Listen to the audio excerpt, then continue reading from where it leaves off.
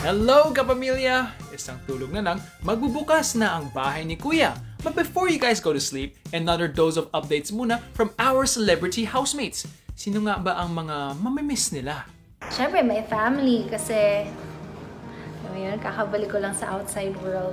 You know, we should be bonding, but it's okay. They can watch me naman. How about Shania? Sino kaya ang mamimiss niya?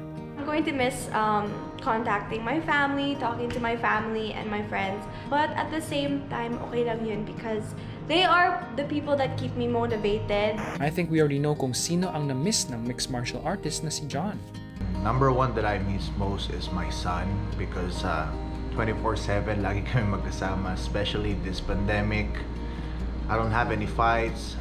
Well, sometimes we have to do some sacrifices. At kanina sa Kumulitan Show, nakilala na natin ang dalawang official celebrity housemate mula sa online bahay ni Kuya.